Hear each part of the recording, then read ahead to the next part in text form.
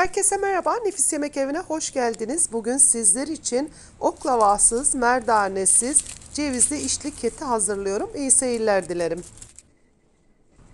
2 adet yumurta, akını içine, sarısı üzeri için ayıralım.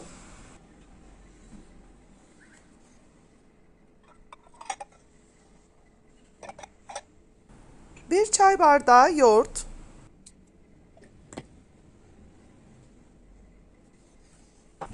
Bir buçuk su bardağı süt.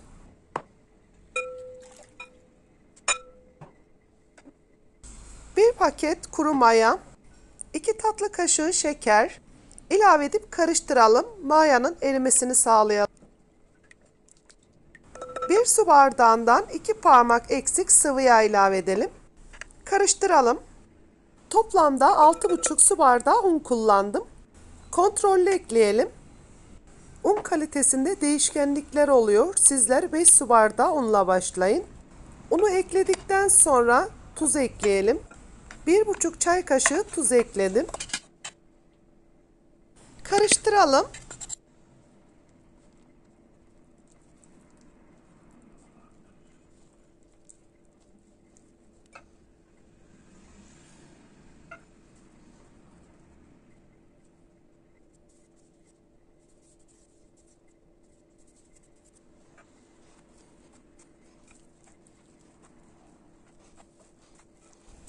Yumuşak hamur hazırlayalım.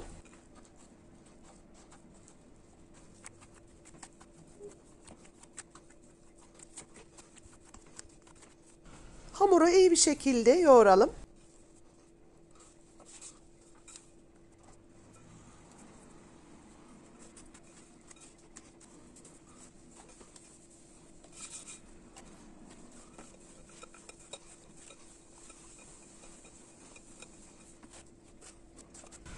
Bir saat mayalamaya bırakalım.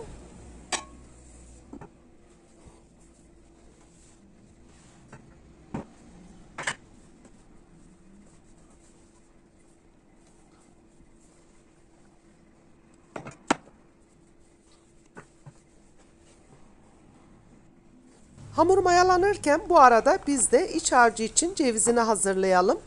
Toplamda 150 gram ceviz kullandım. Bir kase yeterli oluyor. Orta ayarda kıyalım. Ne ince ne kalın olsun. Videoda gördüğünüz gibi hazırlayın.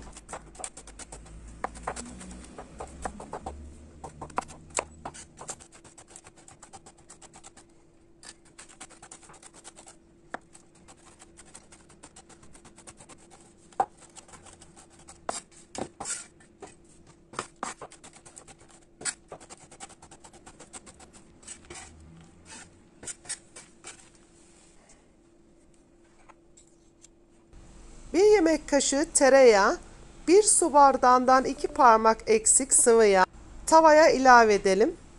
2 su bardağı un ekleyelim. 3 yemek kaşığı şeker ilave edelim. Daha sonra karıştıralım. Ocağın altını orta ateşe aldım. Un kokusu çıkana kadar, pembeleşene kadar kavuralım. Keteyi kete yapan, lezzetine lezzet katan en önemli kısım burasıdır. Ketenin en önemli püf noktası buradadır. Bu kısımları mutlaka dikkatli izleyelim ve dinleyelim. Sürekli karıştırıyorum. Ara ara elinizi dinlendirebilirsiniz. Bakın hafiften kızarmaya başladı.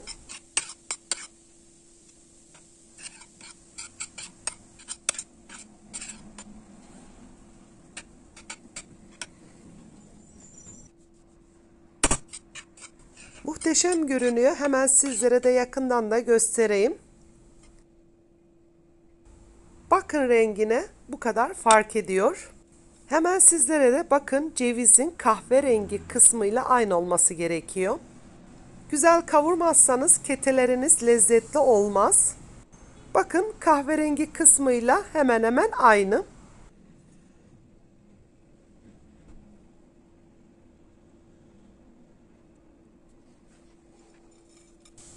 Cevizi de ekledikten sonra 1-2 dakika daha kavuralım.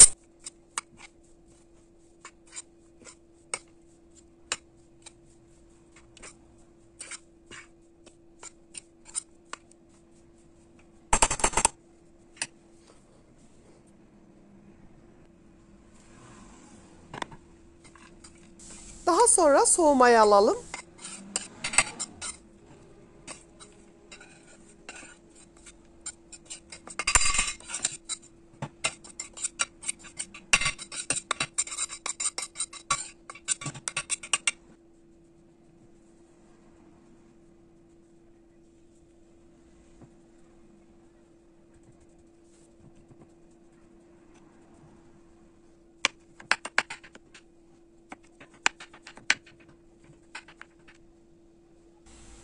Dörde bölelim. Çünkü dört beze hazırlayacağız.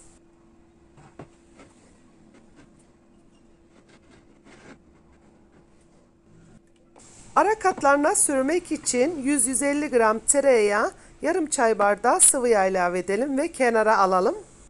Bu arada hamuru kontrol edelim mayalanmış mı?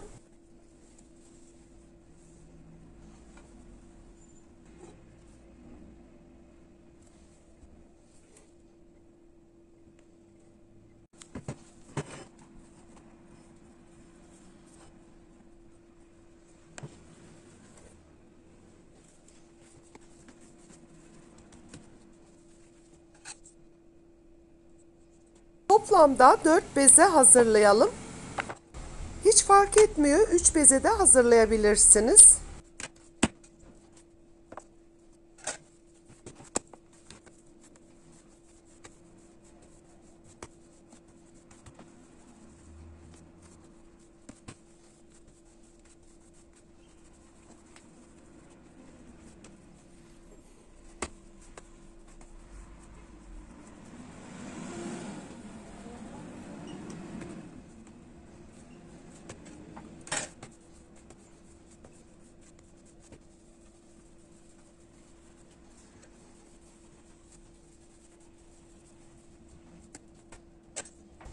Bezeleri hazırladıktan sonra 10-15 dakika dinlendirelim.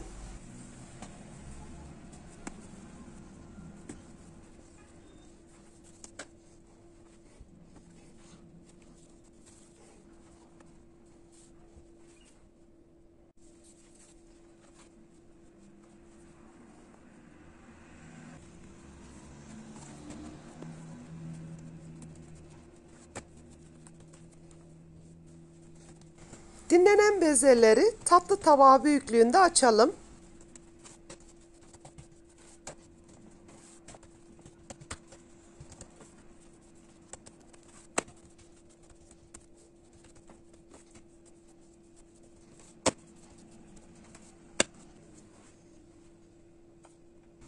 Daha sonra iç harcını ekleyelim.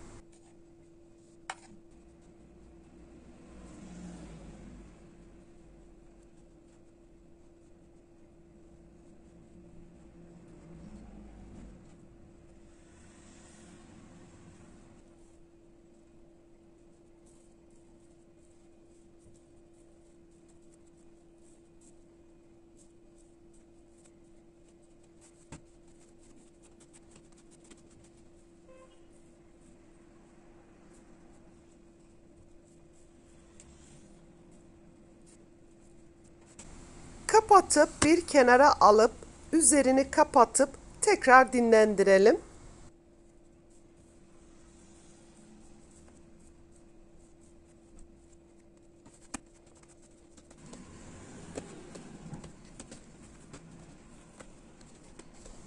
...15-20 dakika dinlendirmeniz gerekiyor. Çünkü daha rahat açılıyor. Dinlenen bezeleri servis tabağı büyüklüğünde açalım.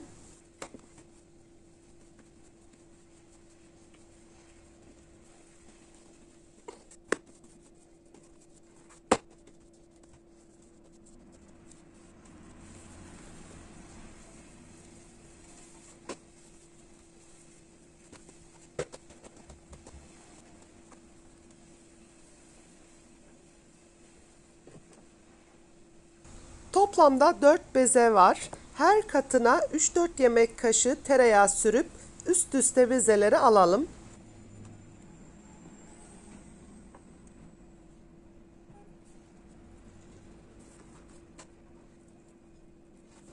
Dört bezeyi hazırladıktan sonra biraz dinlendirebilirsiniz.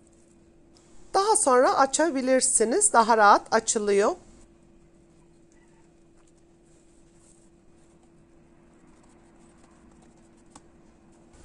Bu işlemi fırın tepsisinde de yapabilirsiniz.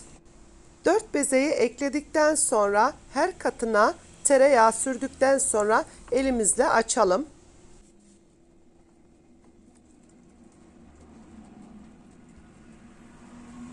Fırın tepsisinin üzerine koyup da bu şekilde açmaya başlayabilirsiniz.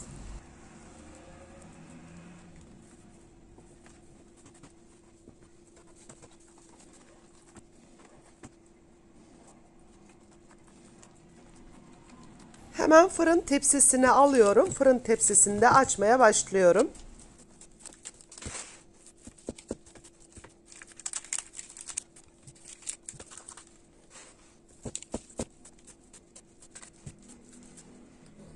Şu anda fırını 200 dereceye aldım.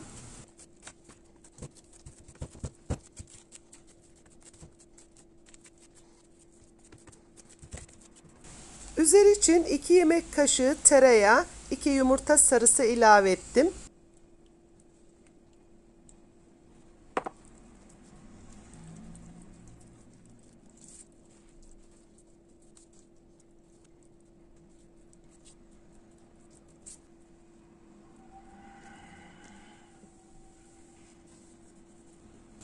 İsteğe göre çizikler de atabilirsiniz çatalla. Önceden ısınmış 200 derece fırına sürüyorum. Üzeri için susam serpiştirdim. İsteğe bağlıdır. Fırından çıkarttım. Çok güzel görünüyor.